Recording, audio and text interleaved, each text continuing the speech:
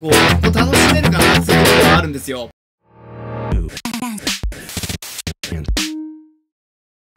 どうも皆様こんばんは、セゴリタ三世でございます。さあ、今日ご紹介する商品はこちらです。ヤマハ AG03 Mark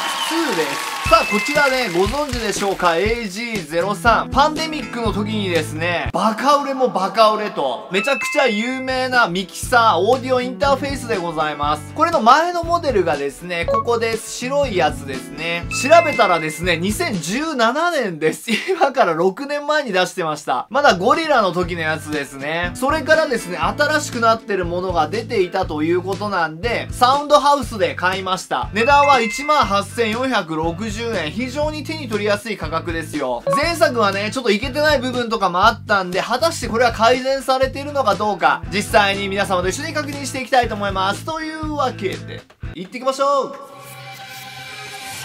はい、というわけでこちらがヤマハ AG03MK2 です。開けていきましょう。ダラーン出ました。入ってたのはクイックガイドにセーフティーガイド、その他もろもろにこちら、 Cubase AI ですね。こちらがダウンロードできます。なので作曲とかね、そういったものをしてみたいっていう場合ですよ。こちらでビシッと使うことができる。それとちょっと長めの USB-C のケーブル。ほんでこちらが本体になるわけです。かっこいい。真っ黒にしてみました。右上ですね、モニターアウトです。スピーカーとかですね、そういったものですよ。あとヘッドホンとか、あとフットですね、足のペダルですね。そういったものはここに差し込むようになっていて、ピアノとかギターとか、そういったものはこちらですね、入れることができるんで、48V のファンタム電源です。こちらで入れることができるんで、コンデンサーマイクとか、そういったものもですね、ここでポチポチすれば切り替えることができます。で、マイクボリュームですね、こちらでコントロールすることができて、あと原因ですね、バーっと変えていく。あとコンプとか、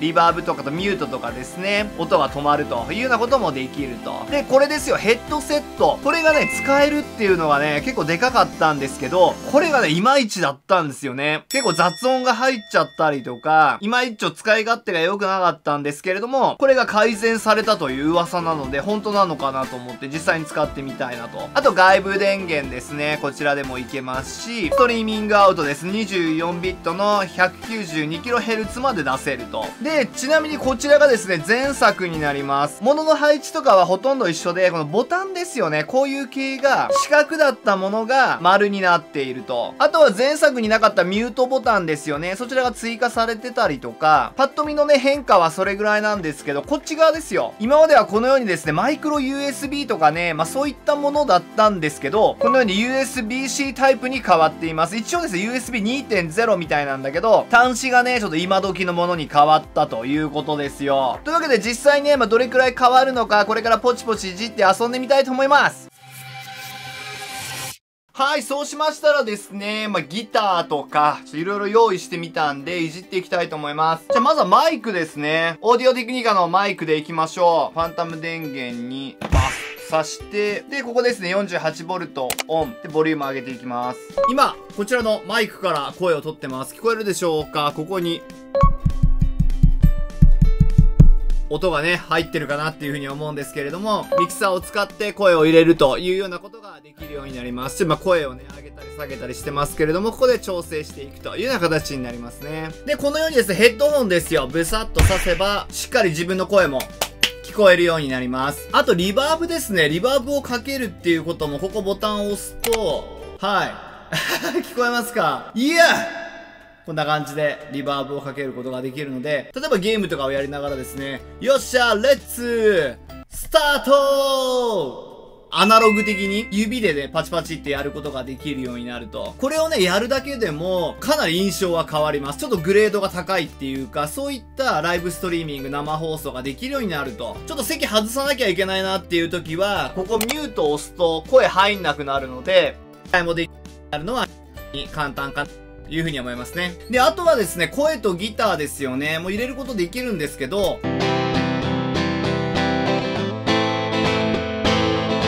語り的な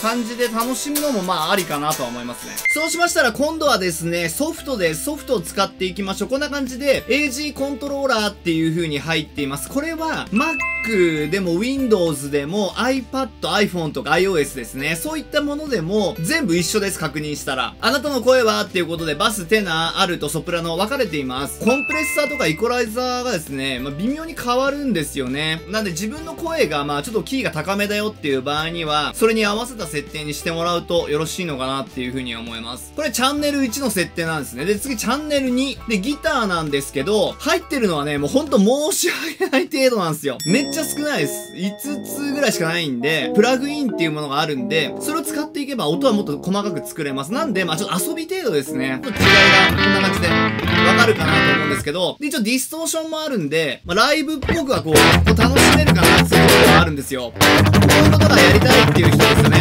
は、こちで楽しんでもらえるといいのかなっていうふうに思います。あとはこういう風にヘッドセットですよね。ヘッドセットからも入れることができるんで、これも非常にわかりやすいかなと思います。なので構成的にはね、これ半時計回りです。入力端子系はここに一通り、まあここにもヘッドセットとかあるけど、一通りこう揃っていて、この下に行って細かくアナログ的に操作をして、で、音量系ですよね。まあこっちとは全然関係ない、どのぐらいの音の大きさになってるかっていうのを調整し、そして出力に持っていくっていう。だからこ、こういう流れですよ。その流れさえ分かれば、なんとなくね、あ、こういうものなのかっていうのは分かるかなと思います。あとは最初ね、うんって思うのが、このストリーミングアウトなんですけど、ドライチャンネル 12G、インプットミックス、ループバックっていう風に3つあるんですけど、これどういうものかっていうと、ここのことですよ。1と2のチャンネルを、何の加工もなしにパソコンとかタブレットに送りますよっていうものなんで、もう入ってきた声とか音そのものを出すということができる。2つ目のインプットミックスっていうのはその名の通りですよね。インプットです。チャンネル1とか2とかの音、あとは外部入力からですよね。そういったものを混ぜてパソコンとかタブレットに送りますよっていうもの。その場で即興を弾いてみたとかね。そういうのではいいかもしんないですね。で、最後のループバックっていうのは、パソコンとかタブレット側でですね、音声チャットをやって、まあ、それの音も混ぜつつ、パソコンとかタブレットに送るっていうものです。なのでゲーム実況とか、まあ、そういったものにはいいかなと思います。ただ、これやると、自分の声もね、返ってきちゃうんで、ちょっとね、ずれるんですよ。いわゆるこれね、遅延が発生するんで、これがね、必要になるわけです。自分の声の帰りですよね。それが重ならないで済むんで、これはね、オフにしておいた方がいいかなと思います。あとは、オーディオテクニカの AT2020USB-X の時も説明しましたけど、iPhone とかですですね、iPad とか、まあ、そういったもので使う時には、これですよ、これ。約5000円で売ってるっていうですね、Apple のこの純正のやつが必要なんで、ここブサッと挿して、ライトニングケーブルでですね、電源取りながら、これと AG03 をつなぐということになるので、ちょっとややこしいですけどね、まあ、そういったことも一応できるっていうこと、まあ、一応パソコンがね、一番やりやすいかなとは思いますね。